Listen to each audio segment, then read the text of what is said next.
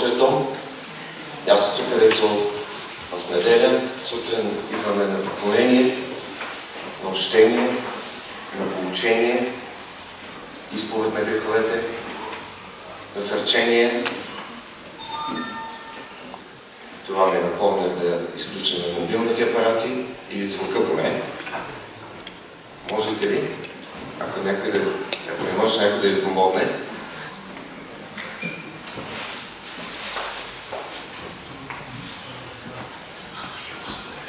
Ще започнем с а, една част от Божието Слово като призив към нас от Евангелието на Йоанн 10 глава, първи до 4 и от 11 до 16 стихове. След това ще се помоля нека да се Истина ви казвам, който не влиза през вратата на кошарата на овцете, а прескача от другаде, той е крадец и разбойник. А който влиза през вратата е овчар на овцете. Пазачът му отваря и овцете слушат гласа му и вика своите овце по име и ги извежда. Когато е извел всички свои, той върви пред тях и овцете го следват, защото познават гласа му. Аз съм добрият пастир. Добрият пастир дава живота си за овцете. Който е наемник, а не овчар, и не е стопанен на овцете, като вижда, че иде вълкът, оставя овцете и бяга, а вълкът ги разграбва и разпръсва. Той бяга, защото е наемник и не го е грижа за овцете. Аз съм добрият пастир. Аз познавам своите овце и моите ме познават. Както Отец познава мен и аз познавам Отца, аз давам живота си за овцете. И други овце имам, които не са от тая кошара. И тях трябва да доведа. И ще чуят гласа и ще станат едно стадо с един пастир. Амин. Господи, благодарим Ти за това, че си ни посочил, повикал по име, че ни познаваш по име и че макар да сме от другата кошара, ние имаме един пастир и ставаме едно стадо. Благодарим Ти за това, че Ти си нашият Господ, че Ти си не само Творец на всемира, но Ти си и този, който се извършил изкупителното дело и чрез Святия Дух го правиш реално за нас. Благодарим Ти за истината, която а, е дошла до сърцата ни, чрез Твоето Слово, чрез приятели, които са ни говорили, чрез обстоятелства, в които сме се чувствали притиснати и няма на къде другаде да погледнем, освен нагоре и към Тебе. Благодарим Ти, че отново, изрезавайки нашата благодарност за всичко, което имаме в Тебе, че Те познаваме и че Те следваме и че си нашият Господ и пастир, тази сутрин можем да Ти хвалим, можем да издигнем гласът на хваление с дълбочината на, на сърцето си, в поклонение и в едно смирение. Господи, молим Те, благослови събранието тук и навсякъде в нашата родина, за да може този народ да се обърне към Тебе и да дойдат освежителни времена, такива каквито Ти си приготвил за нас. Нека да ги видим, нека да ги получим. И нека това общение днес да бъде една стъпка за нашето благословение. В името на Спасителя Христа се молим, просим и благодарим. Амин. Нека останем да изпеем три кратки песни. Безкрайна е любовта на Исуса. Пастиру Христе. И Господ Бог е мой пастир. Безкрайна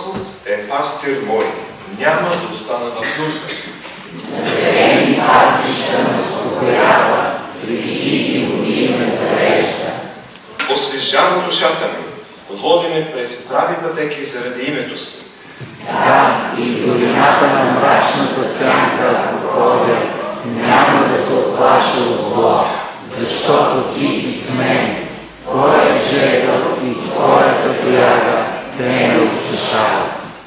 Приготвяш пред мене трапеза в присъствието на неприятелите ми. Помазал си с миро главата ми. Чашата ми прелива. Наистина благост и милост ще ме следват през всичките дни на живота ми и аз ще живея за винаги в Господа. Амин. Би ли се струва, когато го четеме заедно, макар и ответно, че това е един своеобразен символ на вяра. Ние казваме какъв е Господ. Това е наш пастир. Ние казваме какво прави за нас. Добрият пастир дава живота си за овцете. Какво е направил? Какво, за какво се грижи? Няма да ни остане в нужда. И дори в този псалом виждаме и Господната трапеза, в която, на която после ще бъдем част и ще се нахраниме. Защото казва, приготвяш трапеза в присъствието на неприятелите. Имаше един неприятел на тази трапеза, Юда. Така че този псалом е за нас и той изразява, надявам се, нашето верою, нашата надежда, че ще живеем завинаги в дома Господен. Амин. Нека да се изправим за молитва и да търсим Божието ръководство и благословение за своето слово днес и за хората, които са в специални затруднения, които са приковани на легло, които имат нужда от възстановяване, както Тошко, който утре трябва да бъде изписан от Ловешката болница и, приведен тук в София най-после. А, също така сестра Николинка.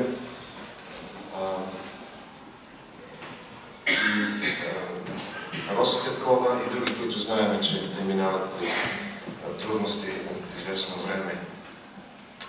Господи, благодарим Ти за това, че Те познаваме като реален и жив. Благодарим и за това, че ни дава светлината от Твоето свято Слово, Библията. За това, че всичко, което е било нужно, за да разберем и да сванем Твоят план, Твоята промисъл, Твоята грижа, Твоят спасителен път, Ти си го дал и си ни го написал по един ясен начин. Благодарим Ти за водителството на Святия Дух, за полученията, които имаме от хора, които преди нас са изпитали опит, вярата, пътят, опитността. Искаме и ние да имаме тази опитност. Искаме и ние да имаме тази жива връзка. И това е възможно, защото това Словото е достъпно, защото Духът обгръща всичко. И Той тази сутрин не търпи грях в сърцата ни. Иска да го изгори, иска да го премахне. И ние сме готови да го предоставим. Ти да го примахнеш, Господи. Да ни дадеш това прощение, този мир, който, с който не можем да продължиме като Твои деца. И като Твои овце в стадото с един пастир и с една кошара. Молим Те, Господи, благослови всеки един от нас, които сме дошли тук с упование, че Ти ще се намесиш в нашия живот, че Ти няма да ни оставиш дори и да не знаем как можем да продължим. Дори да не е тежко в момента да не виждам изходен път. Но има много хора, които са в големи нужди, в големи тревоги, проблеми заради влушено здраве. Молим Те, благослови споменатите брати и сестри. Възстановявай ги, благослави ги. Дръж ги в Твоята ръка. Научи ни на всички уроци, които ни даваш чрез изпитанията и трудностите. и че те не са случайно дошли в нашия живот.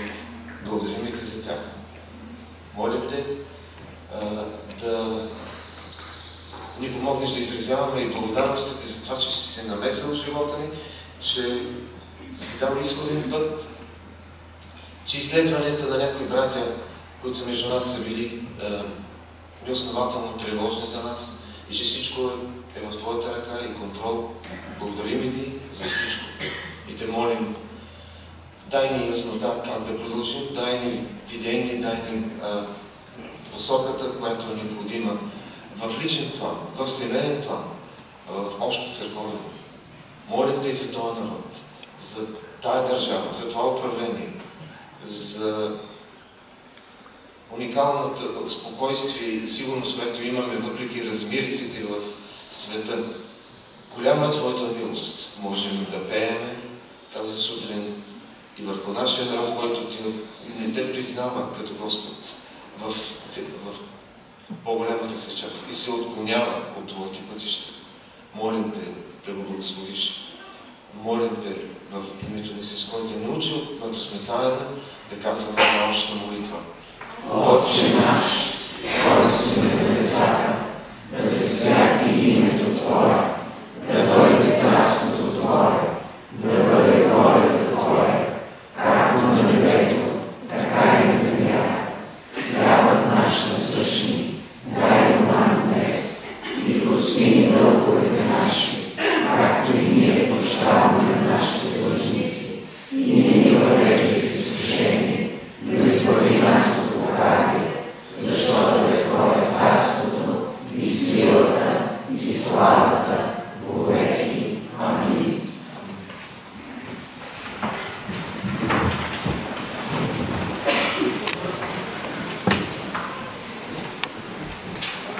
Удивително е колко много от ученията и термините в Библията са взети от селски език, от бита на хората, от природата. Първоначалните адресати на писанието наистина са били обикновени хора, хора, които е, една част са били номади, други са били запознати с природните феномени, с земеделието и с животновътството. Днес е много по-различно.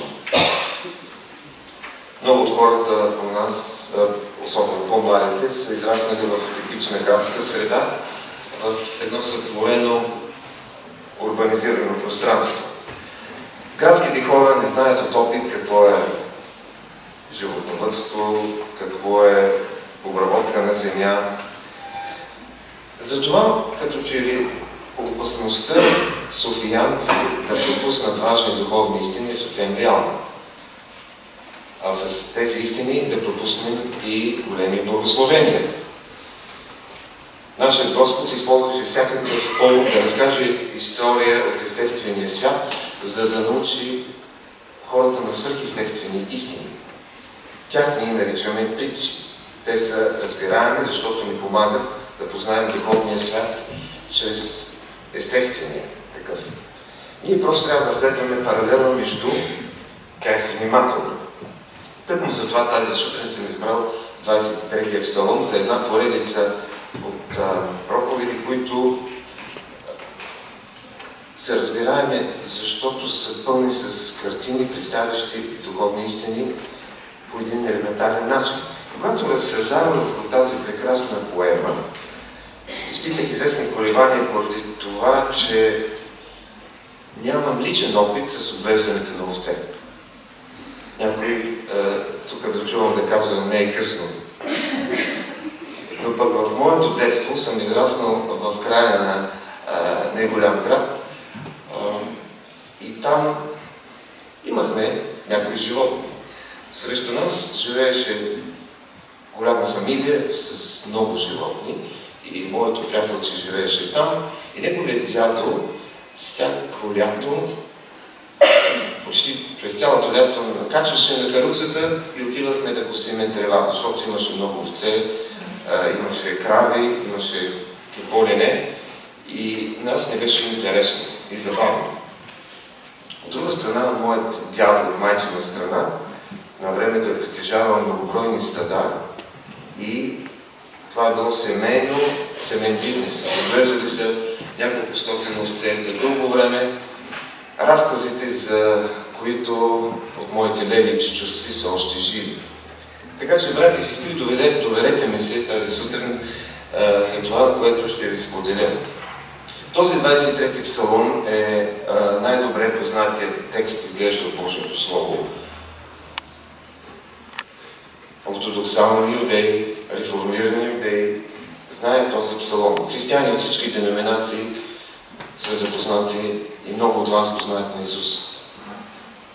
Целият свят е съзрал красотата му. Това е псалом на Давид, който приличава себе си на овца поетически, емоционално разкрива чувствата и отношението си към великия пастир на овцете, нашия Господ Исус. Че кой друг, освен Давид, има потенциала да разказва за това. Той бе призован и помазан за цар именно след много години овчарски опит. Докато беше с овцете, той се научи да управлява да се грижи за тях. Това е управлението. Грижата за хората.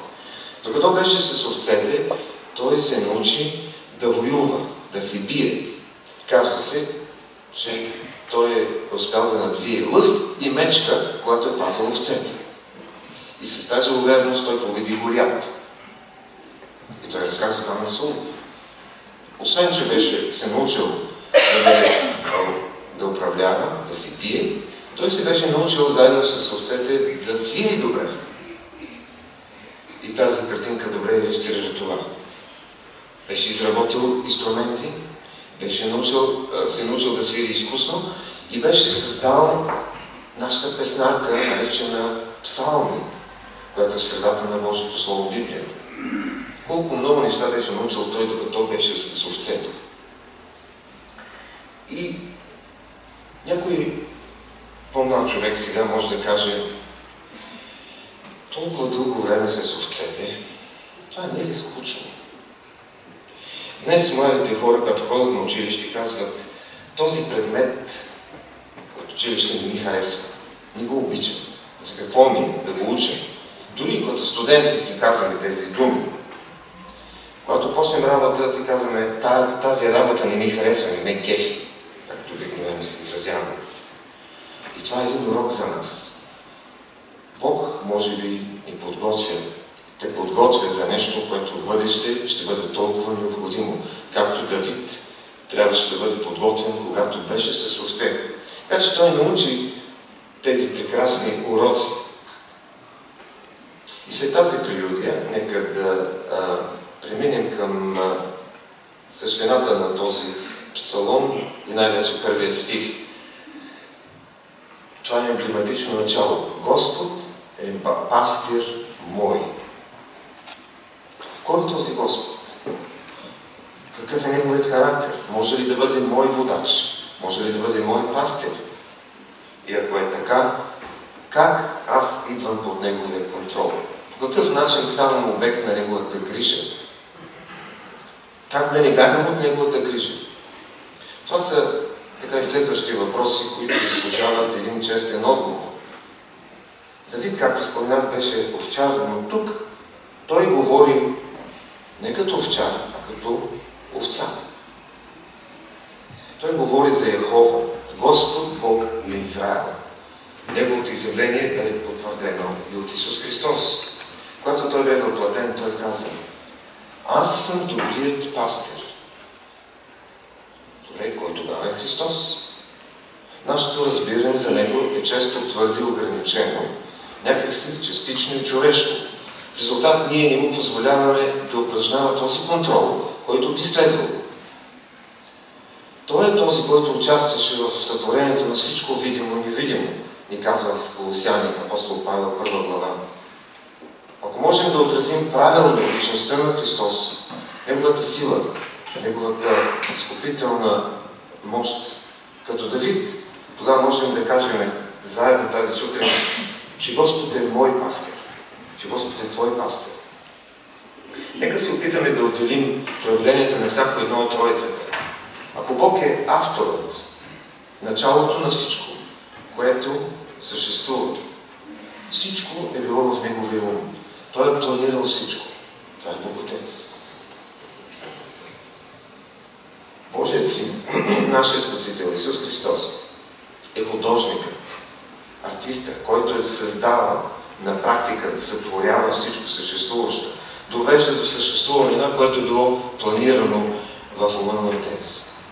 А Бог Святи Дух е агентът, който представя всички тези библейски факти, очевидни факти на моето сърце, на моето духовно разбиране, така че те да станат реално за мен и аз да ги приемам. Красивите взаимоотношения между а, Бог и човека, дадени в Писанието, понякога се изразяват като баща и син. Взаимоотношения между баща и син, но много често като овчар и овце. В нашия псалом, когато кажем Господ е пастир мой, това трябва да ни внушава дълбоки взаимоотношения между нас и, и нашия Създател. Колкото по-дълбоко е разбирането ни за Господа, толкова ще бъде по-силно и по-непосредствено взаимоотношението ни с Него. Давид говори с възхита. Ей хора, вижте моят пастир, вижте моят собственик. Какъв пастир имам аз? Първият пастир в една църква бил свободен от служение, тъй като вторият бил наред да проповядва. Но първият пастир е решил да, да, така, да помогне на програмата за неделното училище, тъй като една от неделните учителки била болна и той отишъл в а, групата с децата и а, наред бил 25 псалом. Той трябва да разкаже за това как Господ е нашия пастир, как децата трябва да слушат Неговия глас, как те имат нужда от ръководство. И обърнал внимание на децата, че а, те са като овцете, че имат нужда да следват указанията на, на възрастните родителите и така Той казал, ако вие сте овцете, кой е овчар? Децата се замисли. Съвсем очевидно било в този момент, че изтъквал себе си.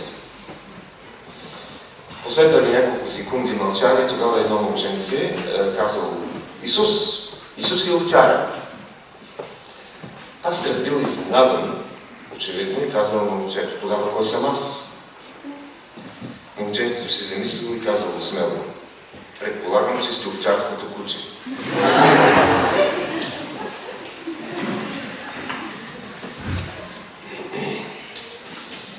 И така, децата сложили на място този пастир, защото се провалил да посочи кой е истинският и добрият пастир.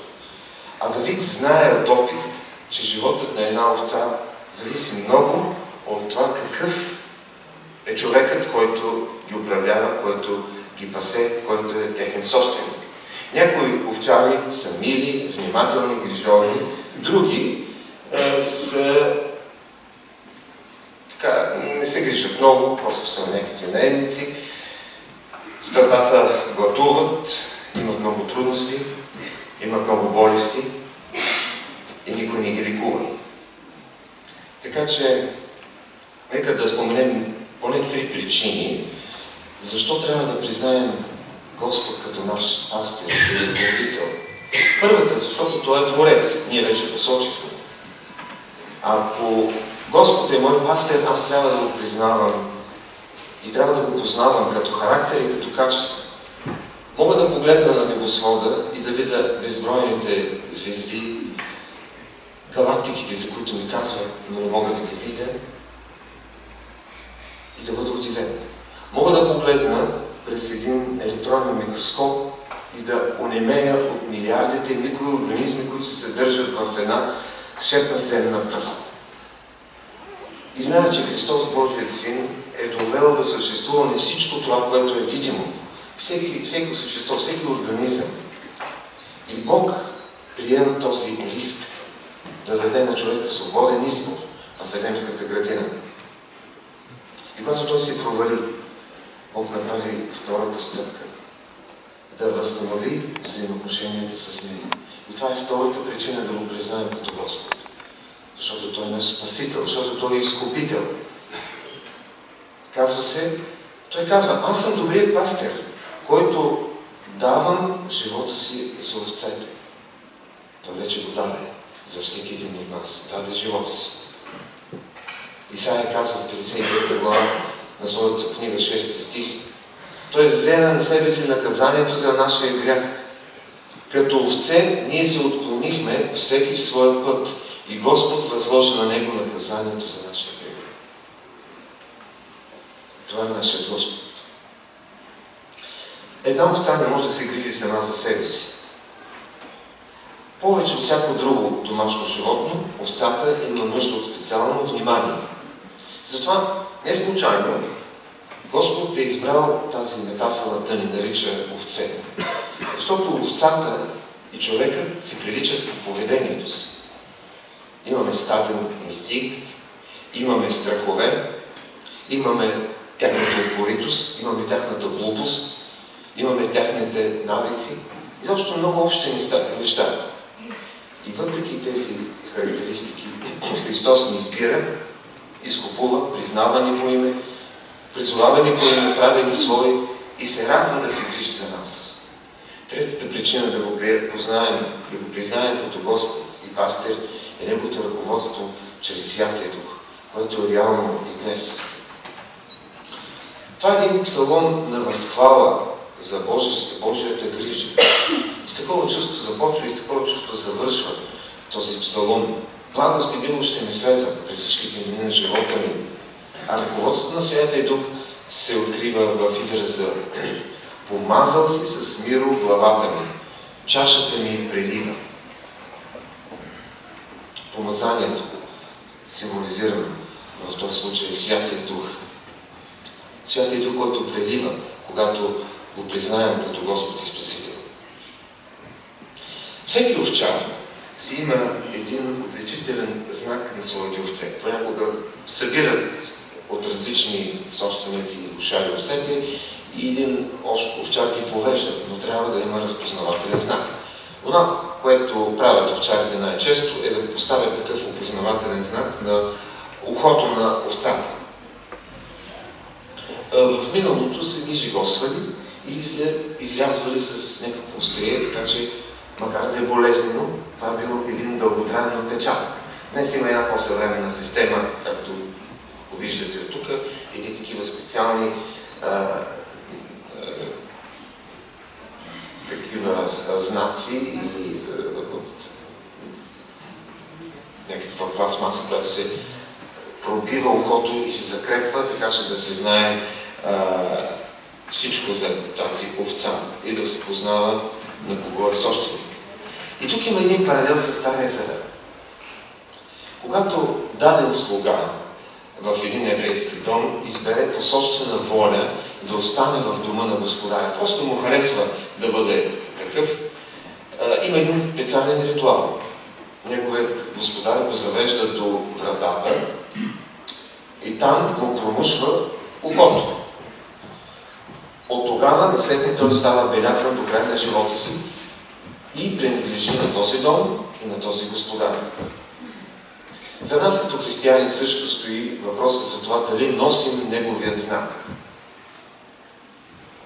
Знакът на кръста, кой е този, който ни определя като негови за винаги. Не говорим тук за някакви външни берези. Обичаме да носим такива кръщчета, нали? Хората така, дори от суеверие носят кръщчета. Става въпрос за знакът, Христовият кръст. Ако иска някой да дойде при мен, казва Христос, трябва да се отрече от себе си, да вземе кръста си и така да ме следва. Много хора претендират с веришки, с кръщчета, че Христос е техен Господ и че Той е техен пастир. Но те не го следват. Те не го признават. Не са готови да платят цената. Затова въпросите остават. наистина ли принадлежа на Него? Признавам ли Неговата власт над мен? Откликвам ли на Неговия призив? Този първи стих продължава. Господи, пастир мой, мой, няма да остана в нужда. Не е ли твърде смело и твърде оптимистично? Няма да остана в нужда. Очевидно е, че това излиза от устата на една овца, която се чувства в този момент напълно задоволена от своя господар, овца, която се радва на живота. Давид казва, тъй като Господ е пастир мой, аз няма да остана в нужда. Оригиналната дума за нужда има по-широко значение от това просто да си спокоен, че не ти липсва нещо, че нямаш дефицит на подходяща грижа и ръководство. Тази дума подсказва, че няма да имаме нужда или грижа за, или желание за нещо повече, което да не е от добрия пастир. Няма да имам нужда от друго, което е, да идва от света. Наистина ли е така в твоя и в моя живот? Това изявление може да ни се види странно на фона на трудностите, които Давид изпитваше в своя живот. Той беше преследван дълги години от Саул. Когато хората го възвеличиха заради победите, които имаше, когато беше назначен в войската на Саул, тогава се появи една ревност. И Саул го преследваше много години. Той трябваше да бяга. Той беше се криеше в пустинята, изпитваше лишение от вода, от храна, от много неща. Когато стана цар, той изпитваше лишение също така. Трябваше да бяга от сина си Авесолом. Трябваше да се крие. Имаше месеци на болка, на безсъние. Затова на пръв поглед е абсурдно да се твърди, че едно Божие дете днес под грижата на добрия пастир никога няма да има нужда от нищо. Така ли? Важно е да изградим балансиран възглед за нашия християнски живот. Добре е да помним, че великите Божии мъже, не само като Давид, но като Йоанн Кръстител, като пророк Илия, не много е, отдавна се честваше празникът на свети Илия, Илинде. И той е възхваляван. Но той е човек, който искаше да умре от обесърчение, от депресия. Всички тези хора изпитваха нужда. И нашият Господ е изпитвал нужда, когато беше на тази земя. Той казваше на учениците, в света ще имате скърб, но аз победих света, дързайте. Има едно течение в някои църкви, което не представя да учи, че ако един мъж или жена успява материално, то това е знак за Божие благословение. Това не е универсален принцип. Дори бих казал напротив. В книгата Откровение се говори за една църква, която е посочена като най-негативната в, а, а, от всичките седем. Това е Лодикийската църква. Те се хвалиха, че бяха богати, че имаха всички възможности, че, а, че бяха горди с всичко, което притежаваха, разчитаха на своето богатство. Христос им казва, вие не знаете, че сте голи, че сте бедни, че сте слепи, че сте жалки. Основание на цялостното библейско получение можем да заключим, че Давид не говореше само за материалната или физическата бедност, когато казва няма да остана в нужда. Като християни ние трябва да имаме по-дълбок поглед към живота. Ние трябва да гледаме на нашето прибиваване на земята като прелюдия, в която можем да изпитаме такива състояния в физически смисъл. Но ние принадлежим на един велик Господ, един Господар. Ние принадлежим на добрият пастир, който ще задоволи всяка една духовна нужда. Непременно. Ние не принадлежим на самозванеца. Исус казва, че не е възможно никой от нас да служи на двама господари. Няма средно положение. Благополучието на едно стадо зависи изцяло от управлението на единия или на другия собственик. На кого принадлежим? Случвало ли се да видите стадо овце, които са толкова зле гледани, измършавяни, в ужасно състояние, да ти стане жално, като ги гледаш. Гледат за храна. Собственикът на овцете определя тяхната съдба. Познавате хора, които така добре са се подредили в обществото, имат добри доходи, имоти, но нямат работа в живота. Те служат на погрешния господар. Но познавате и други, които дори се числят към средната класа, все пак не са богати и имат немалки а, финансови затруднения, но принадлежат на Христос и имат дълбок мир в сърцата, който никой не може да им отнеме. Те знаят, че са под Божията грижа и се доверяват на Неговия контрол. Те са доволни. Доволни. Задоволството е характерна черта на тези, които служат на Бога, които са се доверили на Бога. Днес, да се кажем честно, имаме изобилие от доставена храна, от магазин, от какво ли не. И гледаме да задоволим физическите нужди най-напред. Парадоксът е, че въпреки това видимо изобилие, има най-голямо недоволство. Има най-голямо мърморене. И именно в тази среда се откриват провал на духовните ценности. Хората говорят за сигурност и я търсят извън себе си. Искат повече и повече и никога не са задоволени духовно. В контраст, смиреният човек, овцата на добрия пастир може да заяви гордо. И ние заедно да го кажем тази сутрин. Господ е пастир мой. Няма да остана в нужда. Аз мога да бъда доволен от Неговата грижа в моя живот, защото Той е поставил името си на ухото ми. Неговият знак е върху мене, а Той държи на името си. Понякога ние се проваляме. Нашия авторитет се губи заради различните е, неща, глупости, които правим в живота си. Но Той държи на авторитета си, на името си. И се радва на своето стадо. Изкупил го е и го пази от бури, пази го от враговете, от паразити и от болести. Същият Давид казва 121 псалом, онзи, който те пази, няма да задреме. Ето, няма да задреме, нито да заспи оня, който пази Израел. Защо има толкова марморене между нас, ако сме под неговия контрол? Защо ми се струва, че тревата в съседната градина е по-зелена от нашата? Божието Слово нарича такива християни плъцки. Полухристияни, които искат да вземат най-доброто и от двата свята. Често и оказват влияние на други хора в църквата, поради което е нужна навременна дисциплина върху тях. Аз се надявам, че такива няма тази сутрин между нас. Или има.